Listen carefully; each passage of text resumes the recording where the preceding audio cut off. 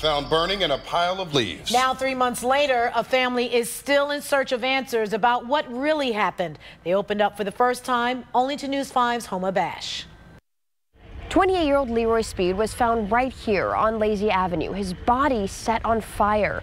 And still, we don't know who or what caused his death. Leroy Speed worked as a landscaper, making it a cruel irony that his body was found under a burning pile of leaves in Cleveland's Kinsman neighborhood. It was a frigid mid February night when fire crews responded to the condemned home. After putting out the flames, they found Leroy. Sickening.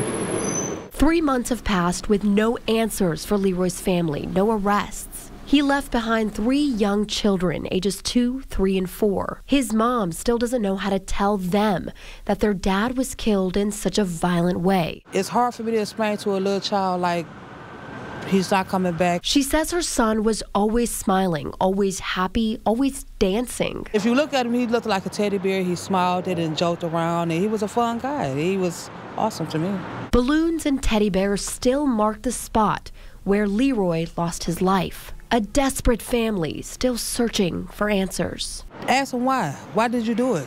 What reason? I mean, why? That's really what I don't know. Why did you do that to my son? Leroy's family believes someone knows something. If you have any information, call Crime Stoppers. You can remain anonymous and you could get a cash reward. In Cleveland, Homa Bash, News 5.